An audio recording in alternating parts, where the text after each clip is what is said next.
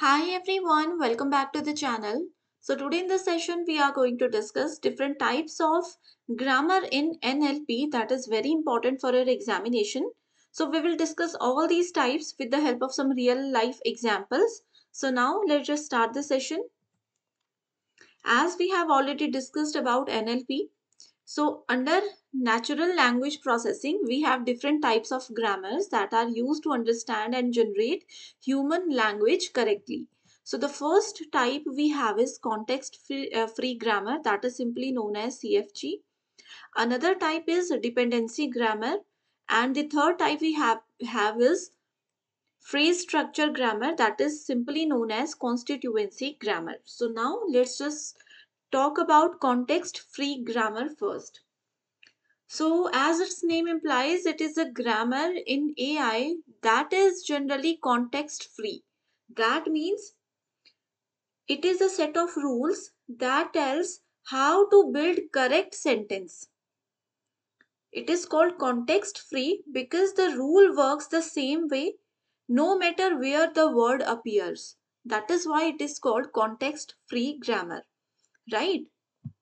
Here each rule tells how one part of sentence like a noun phrase can be broken into smaller parts. Now let's take an example first. The example can be the dog barked. Okay. Here if we talk about context free grammar format, NP is the dog VP is barked. We have already discussed about NP and VP in the previous section, right? And if you haven't watched that video, you can check the description box. I have already added the link there, right? So here NP is the dog and VP is barked. So S means the dog barked. This sentence is valid according to context free grammar. Now let's talk about why context free grammar is useful. So basically it helps NLP tools check if sentence is grammatically correct or not. It is used in parsers to understand the sentence structure. I hope everything is clear to you till now. Next we have is dependency grammar. So dependency grammar is about how each word in a sentence is connected to another word. There is always one main word. There is always one main word. Usually, there is always a verb and all the other words depend on it directly or indirectly. Let's take one easy example. Ravi eats mangoes. Right here eats is the main verb that is head here. Ravi depends on the eats right? That is the subject. And mangoes are the object that is also dependent on eats. This is how dependency grammar actually works. Simply we can uh, we can write it as ravi and mangoes both are dependent on the head the verb that is eats. This shows who is doing what. Who who means ravi is doing what means eating mangoes right? This shows who is doing what which is very important for understanding the meaning of any statement. Now let's talk about why dependency grammar is useful so basically students, it helps AI understand the meaning of a sentence better. It is used in translation, question answering and also used in chatbots.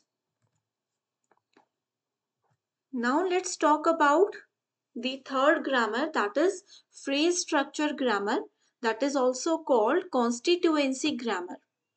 So it breaks a sentence into phrases or chunks or we can say it always this type of grammar always divides a given sentence into group of words and these group of words are called the phrases or called the chunk, chunk chunks.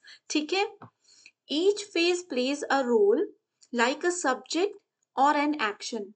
We have already discussed about subject, object and noun and verb, right? We have already discussed everything in detail in previous session. So in this grammar, each phrase plays a role like a subject or an action. Example of phrases can be NP that is your noun phrase, VP that is your verb phrase and PP is your propositional phrase. If we talk about noun phrase, it is a group of words that act as noun that is called noun phrase. Group of words that acts as verb are called verb phrase. And if we talk about propositional phrase it starts with a proposition like on in at under. All these are what? All these are the propositions.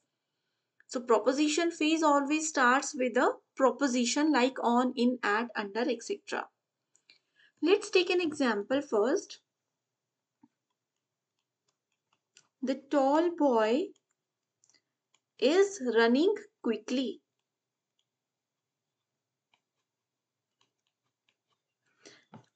I am writing a statement here. The tall boy is running quickly. Here, noun phrase is what? Noun phrase is your the tall boy. It is what? It is the noun phrase. The verb phrase is your, let me change the this. Okay, the verb phrase is is running quickly. It is it is your verb phrase and it is your noun phrase, right? This grammar type shows how sentences are built from meaningful chunks. It helps natural language processing tools do chunking. Chunking means grouping the words, right? It helps NLP tools do chunking and also useful for summarizing, speech recognition and grammar correction. Clear everyone? So I hope every point is clear to you. So here these are the four important types of grammars under NLP. Now we have difference between these three. If we talk about context free grammar, it focuses on rules for valid sentence structure. It always focus on the valid sentence structure. The cat eats fish. Key use in nlp is parsing or rule checking.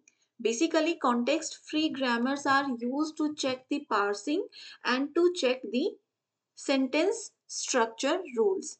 If we talk about dependency grammar it focuses on word to word relationship like she loves chocolates.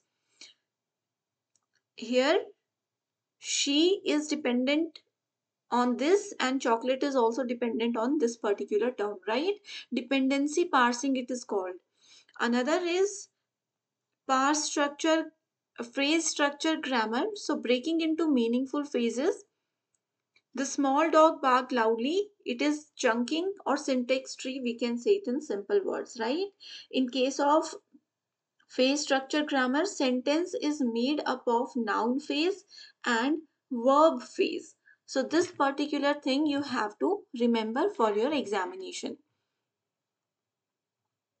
Clear? Other than this, we have context sensitive grammar that focuses on, it is basically rules depend on the context whatever rules we are using in ai system depends on the context of the given statement okay it uses complex grammar and less used as compared to other three grammars.